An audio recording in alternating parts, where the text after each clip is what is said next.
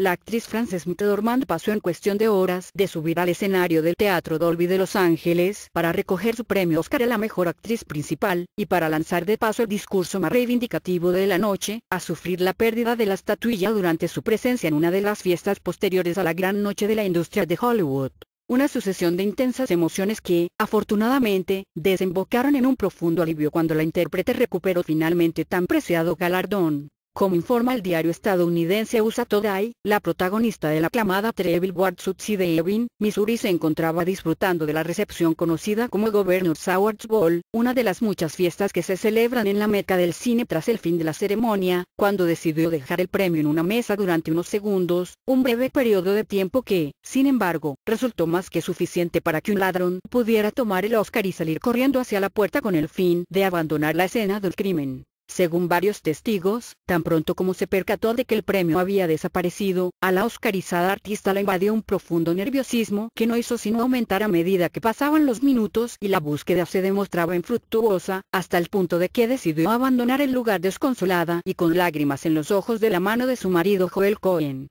pero cuando parecía que una noche tan especial para la actriz se había convertido de forma irremediable en la peor de sus pesadillas, los miembros del equipo de seguridad encargados de investigar el paradero de la estatuilla consiguieron recuperarla sin mayores consecuencias y no tardaron en devolvérsela a su legítima dueña. Fran y Oscar ya están felizmente reunidos y están disfrutando juntos de una hamburguesa, es el escueto comunicado que emitió posteriormente el representante de francés, Simon Als, para tranquilizar a todos aquellos que habían vivido el incidente en primera persona y, también, a los internautas que ya se habían enterado de la noticia a través de los mensajes de Twitter con los que una corresponsal del New York Times cubría la noticia en tiempo real.